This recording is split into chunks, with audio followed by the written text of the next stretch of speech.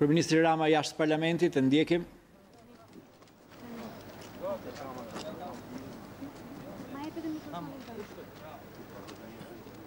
Gati jeni. Po, po, po.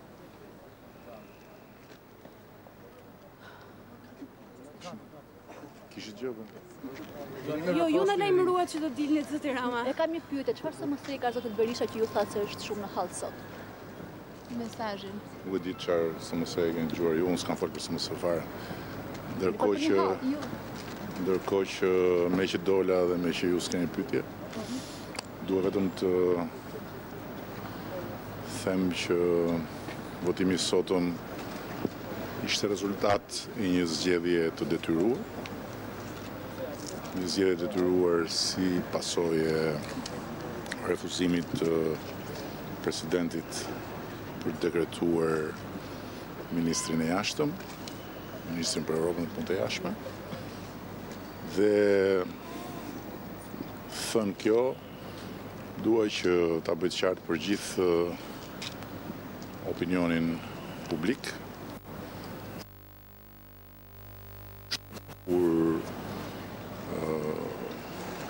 nuk ka një Gjykatë Kushtetuese ende dhe në pritje të formimit të Gjykatës së re Kushtetuese për të trajtuar në rrugë institucionale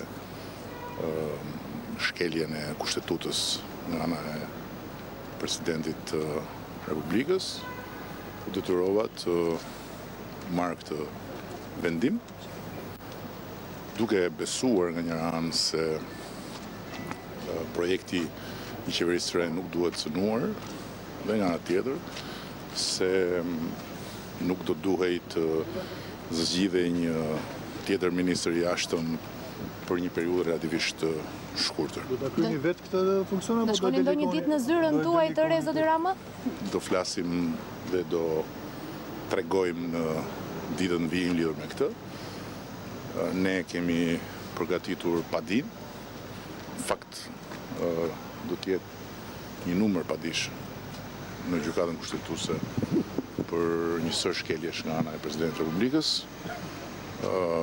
por edhe për rastin konkret, kemi përgatitur padinë, pasi kjo është një çështje që duhet zgjidhur qartë dhe përfundimisht në kushtet kur Presidenti i Republikës ka marrë përsipër të veprojë në kundërshtim me të gjithë traditën e asaj zyre dhe me të gjithë paraardhësit, pavarësisht nëse kanë qenë të një pale, të një pale tjetër apo mbi palët, askush nuk e ka bërë këtë më parë. Do e kryeni vetë funksionin e Ministrit të Jashtëm apo do e delegoni te një zëvendësministër? Duroni se duhet të bëj betimin pastaj të vazhdojmë me të tjerët. Faleminderit shumë. Faleminderit.